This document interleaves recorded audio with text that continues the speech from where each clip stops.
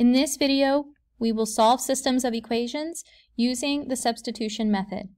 As you fill out your Cornell notes for this, keep in mind to use that left-hand margin for labels, types of problems, and extra notes that you want to make. So let's talk about what substitution method is.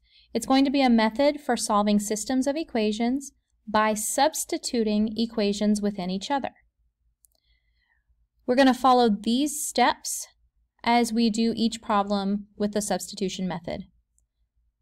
The first step is to solve one of the equations in the system for either x or y.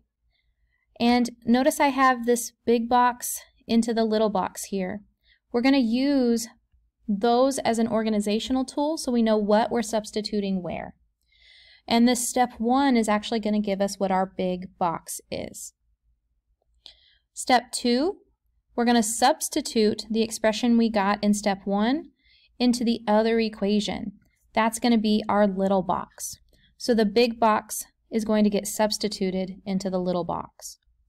And then we're going to solve for the variable that's left. So after step two, we will have one of the variables solved for. Then step three is to substitute your answer from step two back into one of the equations to solve for the other variable, and then we state our solution. So let's see what that looks like. For this system of equations, we have x plus 3y equals negative 15, and y is equal to negative 7. So step one says to solve one of the equations for either x or y. Notice that y equals negative 7 already has the y isolated.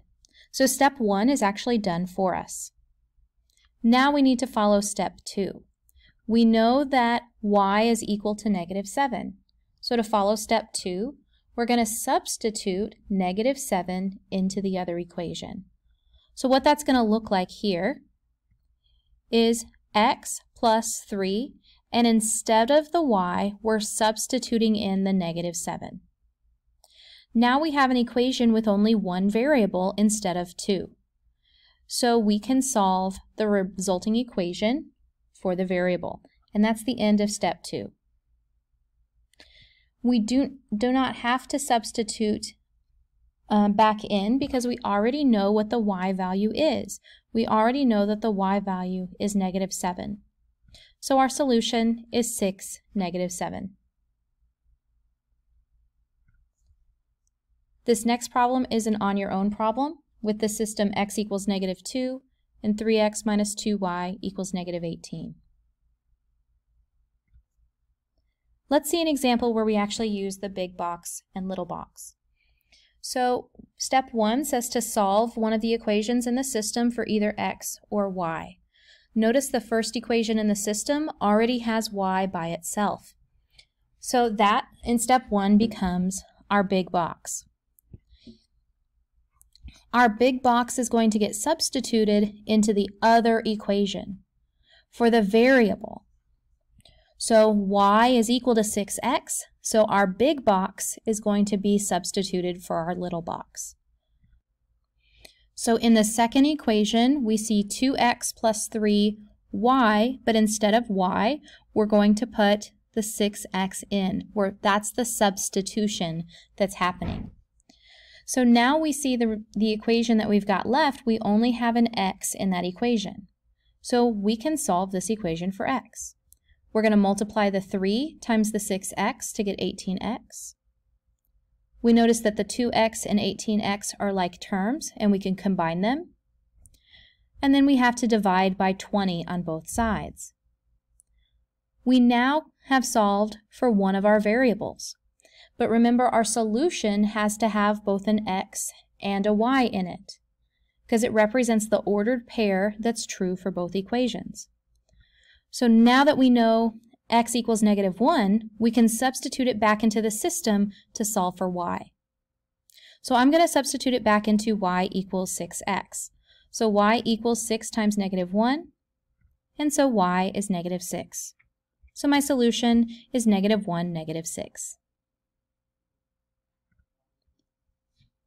All right, in this one, solve one of the equations in the system for either x or y. We notice the first equation already has y solved for. So that becomes our big box. Our little box is going to be the y that the x plus 9 is equal to. That's the substitution that we're going to make. So 3x plus 8 and big box gets substituted into little box. So 3x plus 8, instead of the y, we have the x plus 9. Now we have to distribute that 8 across that x plus 9. So 8x plus 72 equals negative 5. Combine the 3x and the 8x to be 11x. Subtract 72 and divide by 11. We now know x is negative 7, so we can substitute, which is step 3, our answer here back into our equation. So y is equal to negative 7 plus 9. I'm using that value that we got from step 2 and plugging it back in. So negative 7 plus 9 is a positive 2. So our solution is the point negative 7, positive 2. This next problem is on your own. Notice that the first equation already has x solved for.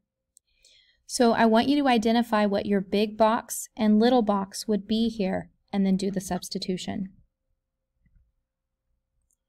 In our next problem, we have 2x minus 3y equals negative 11, and 2x plus y is equal to 9. Notice that neither one of those equations already has a variable solved for. So we have to look at the system and say, well, what would be easiest to do? What would be the most efficient? And we see in that second equation that y already has a coefficient of 1, so it really would be easiest to work with this second equation first. So we have 2x plus y is equal to 9. All we have to do to isolate the y is to move over the 2x. So to get y is equal to negative 2x plus 9. And that is going to become my big box. So now I'm going to plug in or substitute the big box into the little box. So I have 2x minus 3 times two, negative 2x plus 9 in substituted in for y. I have to make sure and distribute that negative 3. A negative times a negative here becomes a positive 6x. A negative times a positive becomes a negative 27. Combine like terms. 2x and 6x become 8x.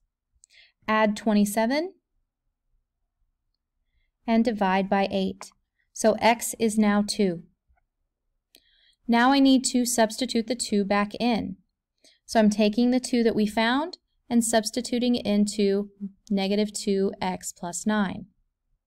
So that becomes negative 4 plus 9, which is 5. So our solution is the point 2 comma 5. This next problem is on your own. Look at this system and decide what equation would be easiest to perform step 1 with.